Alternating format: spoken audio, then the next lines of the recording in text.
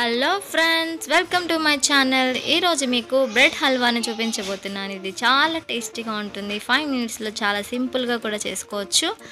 ఇంకా వీడియోలోకి వెళ్ళిపోదాం. ముందుగా మనకి కావాల్సిన ఇంగ్రీడియంట్స్ బ్రెడ్స్ అలాగే జీడిపప్పు అలాగే చక్కెర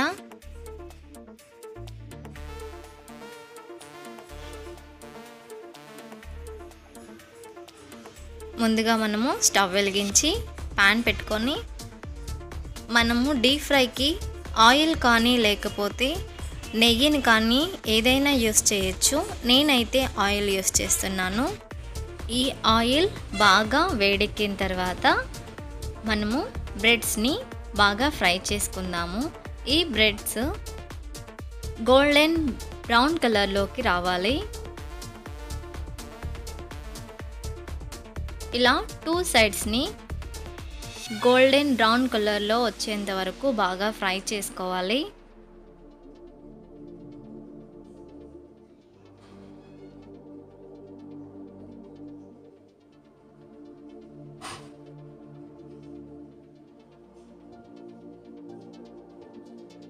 చూసారా?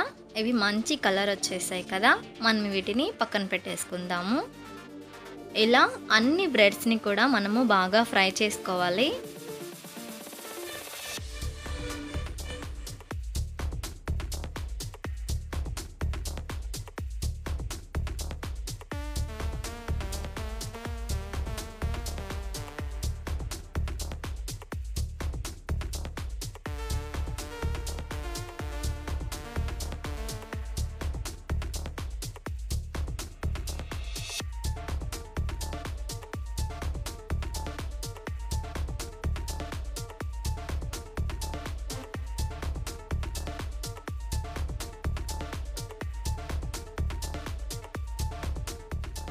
ఇలా అన్ని బ్రెడ్స్ని బ్రౌన్ కలర్ వచ్చే వరకు బాగా ఫ్రై చేసుకోవాలి. ఇదే ఆయిల్లో జీడిపప్పును కూడా వేసుకొని బాగా ఫ్రై చేసుకుందాము.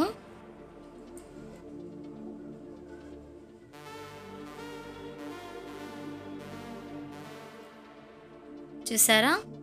బ్రెడ్స్ని బాగా ఫ్రై చేసుకొని పక్కన పెట్టుకున్నాను. అలాగే జీడిపప్పును కూడా బాగా ఫ్రై చేసుకొని పక్కన పెట్టుకున్నాను. ఇప్పుడు చక్కెరలో టూ గ్లాసెస్ ఆఫ్ వాటర్ వేసుకొని మనం గులాబ్ జామున్కి ఎలా అయితే పాకం చేసుకుంటామో ఆ విధంగా మనము పాకం చేసుకోవాలి.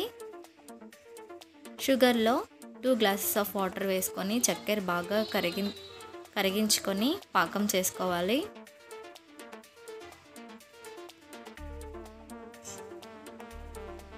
అలాగే కొద్దిగా యాలకల పొడి కూడా యాడ్ చేసుకోవాలి.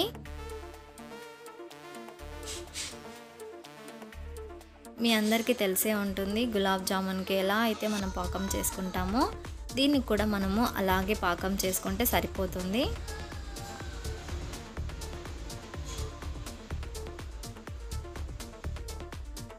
చూసారా? పాకం వచ్చేసింది.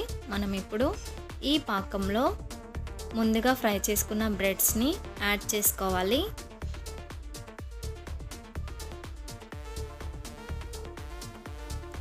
ఇలా బ్రెడ్స్కి పాకం బాగా పట్టే వరకు బాగా కలుపుకోవాలి.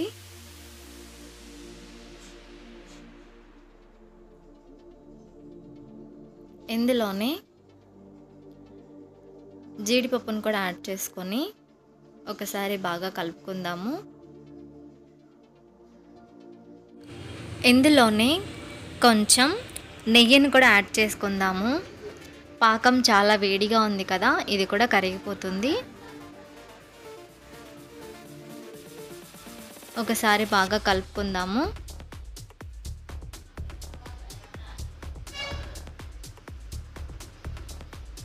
చూసారా?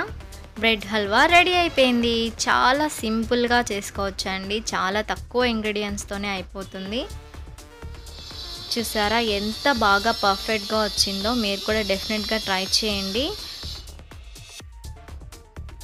ఒక చిన్న రిక్వెస్ట్ అండి. నా వీడియోస్ కనుక మీకు నచ్చినట్లయితే please subscribe to my channel and like and share and comment friends.